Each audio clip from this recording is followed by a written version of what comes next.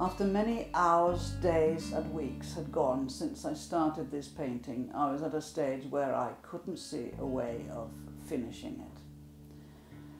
So I took a very long break. I could see it wasn't working. Instead of becoming a work of art, it, was, it just looked like a piece of wallpaper. This looks drastic, as if I'm ruining the work I've spent so much time on. It's difficult to paint moving water, but if you study it for a while, you can get the general idea.